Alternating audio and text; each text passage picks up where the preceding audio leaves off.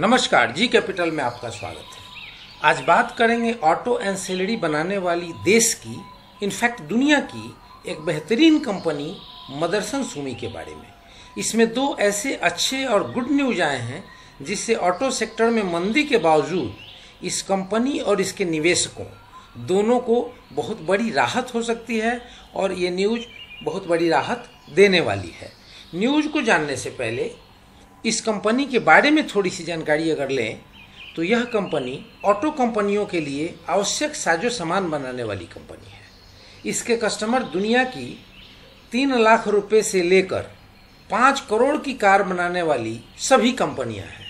Example के तौर पे अगर समझें तो एक तरफ़ अगर ये मारुति के लिए साजो सामान बनाता है तो दूसरी तरफ़ मर्सिडीज बी या ऑडी जैसी बड़ी कार कंपनियों और बड़े कार के सेगमेंट के लिए भी ये ऑटो एंसिलरी बनाता है। इस कंपनी की अगर फैक्ट्री की बात करें तो भारत में तो है ही, चाइना में इसकी बहुत सारी फैक्ट्री है, इसकी यूरोप में फैक्ट्री है और इसकी इवन अमेरिका में भी फैक्ट्री है। तो इस कंपनी के द्वारा जो बनाए गए साजो सामान हैं, इनकी लगभग सारी बड़ी कंपनियाँ इस्तेमाल करती हैं। जैसा कि आपको पता है कि पीछे कोरोना के कहर से पूरे यूरोप, अमेरिका, चाइना, हर जगह डिस्टर्ब हो गया था। तो इनके भी सारे प्लांट ऑलमोस्ट बंद हो गए थे और उसका जो असर था, वो इनके शेयरों के प्राइस पर भी क्लियर दिख रहा था। क्योंकि एकदम से 45-50 रुपए के आसपास तक इनके शेयरों की कीमत आ गई थी। तो न्यूज़ पर आने से पहले, सबसे पहले इस कंपनी के रिटर्न की स्थिति को देख लें। तो रिटर्न की स्थिति देखने के लिए सबसे पहले देखते हैं कि एक दिन में जो पिछला ट्रेडिंग सेशन था 18 अप्रैल का तो उस दिन इसने 6.50 परसेंट का रिटर्न दिया। पिछले हफ़्ते की अगर बात करें तो इसने 31.18 परसेंट का रिटर्न दिया है। और पिछले एक महीने की बात करें तो लगभग 41 परसेंट का रिटर्न दिया है। तो इसमें चमत्कारिक सुधार का लक्षण दिख रहा है कि इसमें कुछ सुधार हो रहा है। तो इसमें जो फोरकास्टर हैं फोरकास्टर क्या कर रहे हैं? फोरकास्टर सड़सठ परसेंट फोरकास्टर कर रहे हैं कि इसे खरीदना चाहिए। और इसकी जो होल्डिंग की पैटर्न है होल्डिंग की पैटर्न अगर देखें तो इसमें प्रोमोटर्स का बासठ परसेंट के आसपास शेयर है। म्यूचुअल फंड इसमें 11 परसेंट के आसपास अपना शेयर रखते हैं। और डीआईआई लगभग साढ़े तेरह परसेंट और एफआईआई लगभग साढ़े पंद्रह परसेंट तो कुल मिलाकर हम ये कहेंगे, इनकी जो शेयर होल्डिंग पैटर्न है, वो ठीक ठाक है। अब बात करेंगे कि एक साल में इसकी स्थिति क्या है। तो एक साल में इसकी स्थिति ये है कि ये तैतालीस परसेंट से ज़्यादा नीचे है। पाँच सालों में इसकी स्थिति क्या है? तो पाँच सालों में भी लगभग चौवालीस परसेंट नीचे है। और ये क्यों है? कैसे है? इसको और थोड़ा सा आगे जब बढ़ें तो वहाँ आप देखेंगे, इसको चार्ट पर अगर ठीक से देखा जाए तो चार्ट पर आप ये देखेंगे कि पीछे डेट था 24 मार्च।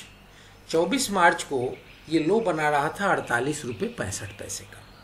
अब अड़तालीस रुपये पैंसठ पैसे से अगर पिछले ट्रेडिंग सेशन 18 तारीख की जो हाई है, वो लगभग 89.65 रुपीस की है तो ये लगभग 78 से 80 परसेंट की जंप मानी जाएगी। इतनी बड़ी जंप के पीछे क्या न्यूज़ है, क्या खुशखबरी है वो हम आपसे शेयर करेंगे। मुश्किल से पंद्रह ट्रेडिंग सेशन बीते हैं। अगर किसी ने इन्वेस्टमेंट कर रखी है 24 अप्रैल को तो मुश्किल से तेरह ट्रेडिंग सेशन या चौदह ट्रेडिंग सेशन बीते हैं, तब तक उसका पैसा लगभग 80 परसेंट बढ़ चुका है। तो ऐसी कंपनी है तो मदरसन सुमी का जो फंडामेंटल है, वो बहुत ज़बरदस्त है क्योंकि ऑटो सेक्टर में ही पूरी निराशा का माहौल है। इस वजह से मदरसन सुमी का पोजीशन डाउन लग रहा है। और ओवरऑल अगर बोलें और इसके फ्यूचर के बारे में बोलें तो जिसका भी लॉन्ग रन का नज़रिया है, वो अभी अगर इसमें इन्वेस्ट करता है, वो ये मान के चले कि हमें तो इसमें दो साल, तीन साल और चार साल तक इन्वेस्टेड रहना है तो उसके लिए फ्यूचर ब्राइट है। लेकिन हाल फ़िलहाल में जब तक ऑटो सेक्टर की मंदी का दौर खत्म नहीं होता है, तब तक किसी भी कंपनी में नॉट ओनली इन मदरसन सुनी जैसे सभी बड़ी कंपनियों में प्रॉब्लम है, वैसे इस कंपनी में भी प्रॉब्लम बनी रहेगी। तो जो इन्वेस्टर हैं वो उनको एक सलाह यहाँ पर हम देना चाहेंगे कि यहाँ पर जो 50 डेज़ का ई एम है, वो 50 डेज़ का ई एम हो रहा है सतासी रुपये, पंद्रह पैसे या सोलह पैसे के आसपास। तो यहाँ पे ये मार्केट में जब 89.65 तक गया था तो ये कैंडल जो यहाँ बन रहा है, वो बन रहा है डोजी कैंडल वो ये शो कर रही है कि मार्केट अब यहाँ से इसका ऊपर जाएगा कि नीचे जाएगा, ये तो अगला आने वाला ट्रेडिंग सेशन बताएगा। तो इसमें अगर आप इन्वेस्टेड हैं तो आपके लिए एक सुझाव ये है कि 50 डेज़ का जो ई है, छियासी रुपये या सतासी रुपये का तो इसके आसपास से तो ये नीचे ऑलरेडी आ चुका है। तो आप इंतज़ार करें, अगर ये इसको ब्रेक करके ऊपर जैसे निकलता है तो आप अपनी ये 50 डेज़ की जो ई है, उसको अपने स्टॉप लॉस के लेवल पे उठा के रख लें।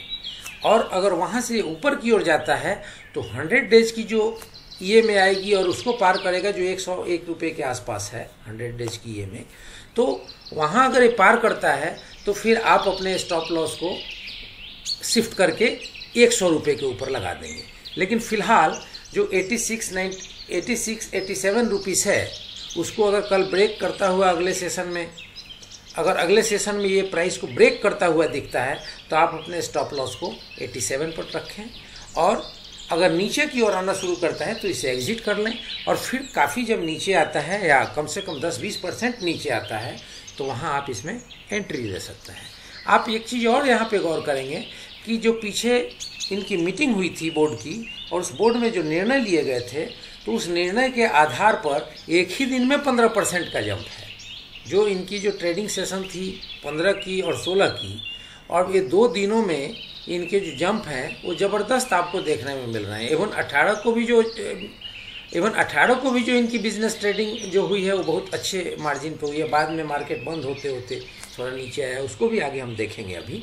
तो अब इसमें बीएससी पर इन्होंने जो कम्युनिकेट किया है बीएससी को इन्होंने जो बताया है, वो ये बताया है कि कोरोना वायरस और पेंडेमिक से निपटने के लिए हम लोगों ने एक 500 करोड़ रुपए को 500 करोड़ रुपए का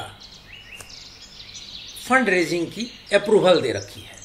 ये फंड रेजिंग जो होंगे, वो होंगे नन कन्वर्टेबल डिवेंचर के रूप में। जो 500 करोड़ रुपए जो रेज की जाएगी, उससे कंपनी को पैंडेमिक के समय हुए कैश फ्लो वगैरह के दिक्कत से निपटने में आसानी हो जाएगी। ये नॉन कन्वर्टेबल डिवेंचर जो होंगे, वो 500 करोड़ के होंगे। लिस्टेड भी होंगे सिक्योर्ड भी होंगे।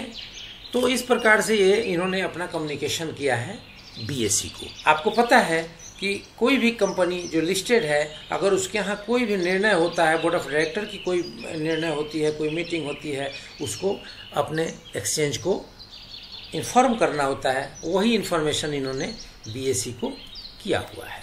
तो ये तो रही पहली न्यूज़ वैसे मनी कंट्रोल ने इस सेम न्यूज़ को जो छापा है, उसमें एक हज़ार करोड़ रुपए के रेजिंग की बात कर रहा है।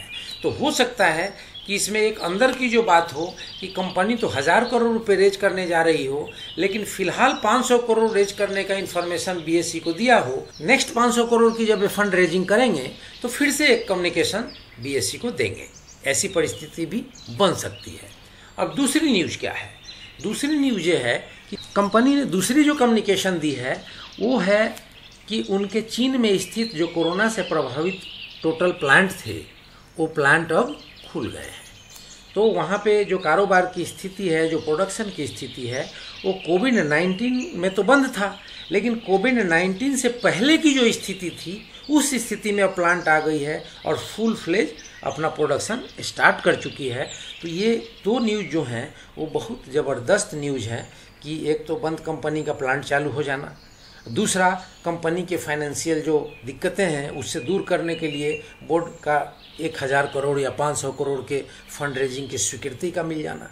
तो ये दोनों न्यूज़ के चलते आपने देखा कि कैसी ज़बरदस्त रिकवरी रही पीछे दो तीन ट्रेडिंग सेशनों में और आगे इसके कारोबार की स्थिति को देखने के लिए हम एनएससी की वेबसाइट पर चलते हैं। तो आप ये देखेंगे कि पिछले जो ट्रेडिंग सेशन की स्टार्ट हुई थी, उसमें ओपन हुआ था सतासी रुपये पर। इसने लो बनाया था इक्यासी रुपये पचास पैसे का, लेकिन फाइनली क्लोज हुआ छियासी रुपये अस्सी पैसे पर। तो लगभग जहाँ से स्टार्ट हुआ था, वहीं पे बंद होना, यही बता रहा है कि कंपनी की प्राइस अभी ऊहा पोह की स्थिति में है। अभी ऊपर आउटब्रेक करके निकलेगी या नीचे की ओर रिवर्सल करेगी, ये कुछ पता चलना मुश्किल है, जैसा कि हमने पहले ही आपको चार्ट को देख करके बताया। अब इसके कारोबार की स्थिति और इसके ट्रेडेड वॉल्यूम की स्थिति देखें। तो जो क्वांटिटी ट्रेडेड हुई है, वो हुई है छः करोड़ इकहत्तर लाख पैंतीस हज़ार सात सौ उनचालीस। और जो डिलीवरी हुई है, वो हुई है एक करोड़ सत्ताईस लाख इक्यासी हज़ार अट्ठासी। डिलीवरी का परसेंट उन्नीस परसेंट है। तो डिलीवरी का परसेंट जो है, वो थोड़ी निराशाजनक है।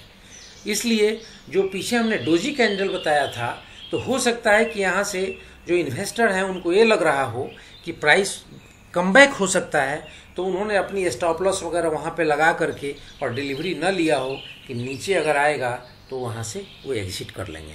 तो ये सारे न्यूज़ रहे, ये सारी एनालिसिस रही आपके सामने मदरसन सुमी के बारे में। तो दोस्तों, अगर वीडियो आपको अच्छी लगी, हमारी इन्फॉर्मेशन अच्छी लगी तो लाइक करें शेयर करें सब्सक्राइब करें और बेल आइकन बटन दबाना ना भूलें ताकि ये वीडियो सबसे पहले आप तक पहुँचे।